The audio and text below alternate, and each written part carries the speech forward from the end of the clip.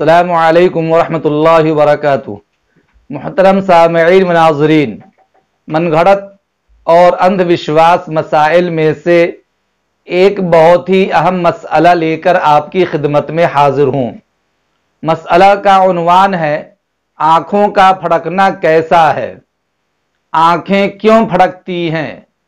आवाम का क्या ख्याल है? साइंस क्या कहती है?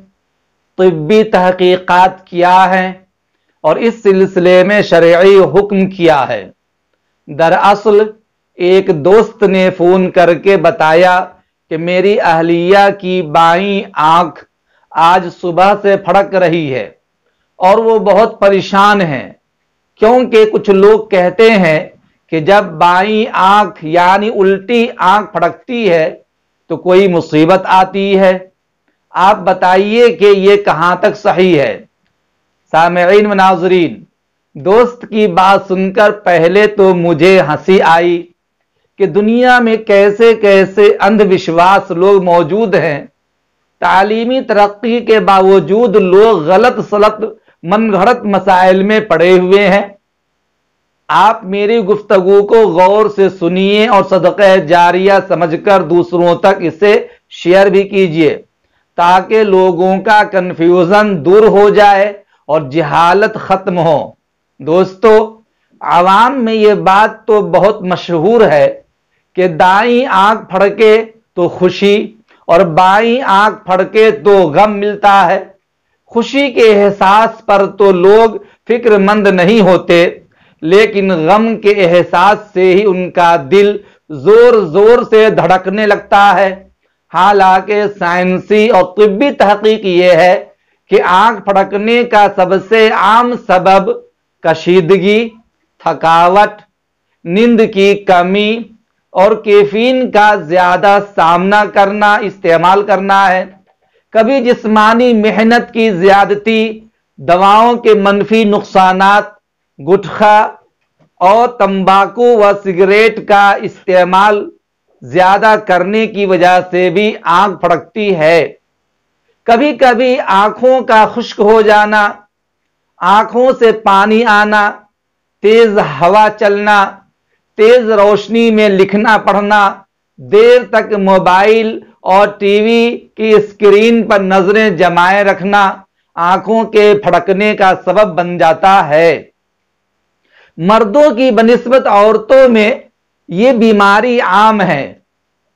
और औरतें बहुत ज़्यादा मुतासर भी हो जाती है और जल्द मुतासर हो जाती है। ये बात अच्छी तरह याद रखिए कि आँख या इसी तरह जिस्म का कोई और हिस्सा बाज दफ़ा किसी मर्ज या गैस की वजह से फड़कता है। बाई आँख के फड़कने पर किसी मुसीबत के आने का अकीदा रखना दुरुस्त नहीं, बल्कि अगलातुल आवाम और अंधविश्वास के कबील से है। ऐसा अकीदा रखना कतई तौर पर जायज़ नहीं है। ऐसा अकीदा हरगिज ना रखना चाहिए। लोगों ने अजीब अजीब ख्यालात गढ़ रखे हैं। मसलन सफ़र करते हुए अगर घर से निकलते ही छींक आ जाए तो लोग कहते हैं कि अरे, ये तो बड़ा मनहूस सफ़र होने वाला है और इसमें नहूसत ही नहूसत है। लोग उसी वक्त सफ़र कैंसिल कर देते हैं। रास्ता चलते हुए बिल्ली अगर रास्ता काट दे तो लोग कहते हैं कि अरे, ये सफ़र बेकार होने वाला इसमें परेशानी आने वाली है। ये याद रखिए, ये सब जिहालतों में से है।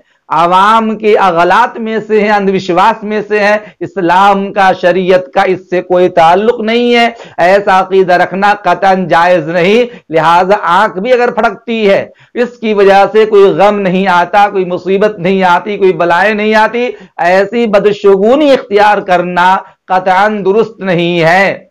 याद रखिए, ज़्यादा देर तक जगने की वजह से, नींद पूरी ना होने की वजह से, कशीदगी की वजह से, थकन की वजह से, या ये कि गैस वगैरह जिस्म में पैदा हो जाने की वजह से तनाव की वजह से, दवाओं के मनफी असरात की वजह से ये आँखें फड़कती हैं, या देर तक मोबाइल और टीवी और कंप्यूटर की स्क्रीन पर नज़रें जमाए रखने की वजह से जब नज़रें थक जाती हैं तो ये आँख फड़कती है और ये एहसास दिलाती है कि हमें आराम की ज़रूरत है, वक्फे की ज़रूरत है। इस स्क्रीन वगैरह बंद कर दो। मेरे अज़ीज़ दोस्तों, याद रखे, यही वजूहत हैं। बाकी ये और कोई वजह नहीं है। उम्मीद करता हूँ कि ये मसला आपके सामने अच्छी तरह क्लियर हो गया होगा और ऐसे अंधविश्वास, अकीदे और गलत नज़रिए से आपका जहन साफ़ हो गया होगा। असलकम वरहमल वर्का